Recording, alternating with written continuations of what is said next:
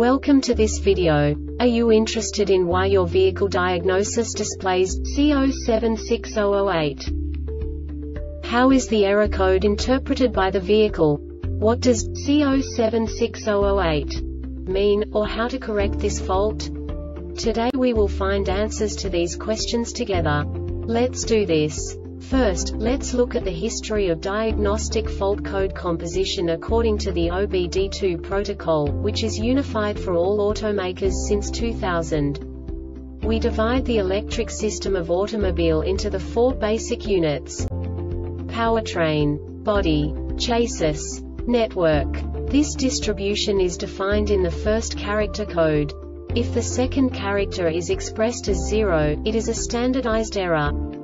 In the case of numbers 1, 2, 3 it is a more prestigious expression of the car-specific error.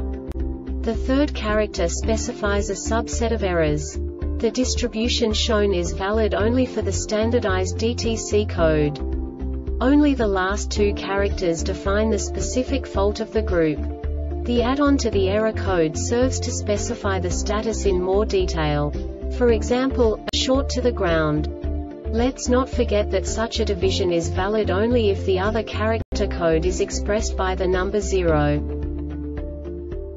Our website airbagreset.sk produces useful videos for you. You do not have to go through the OBD2 protocol anymore to know how to troubleshoot any car breakdown. You will find all the diagnostic codes that can be diagnosed in a GMC vehicles. Also many other useful things.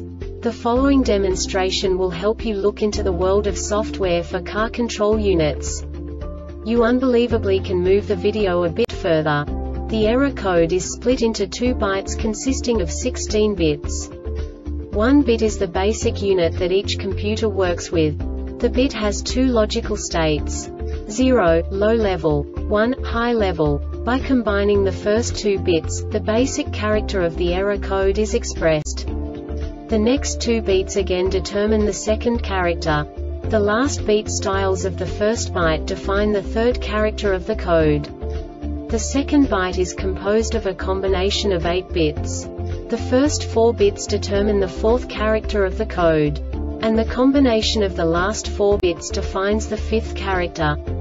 A single byte conceals 256 possible combinations.